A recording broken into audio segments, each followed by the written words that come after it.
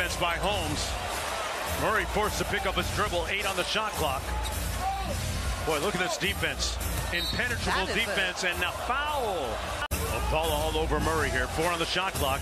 He's got to get busy. Good defense by Okpala. Jamal Murray is back. You see the one he had against Phoenix? Yes.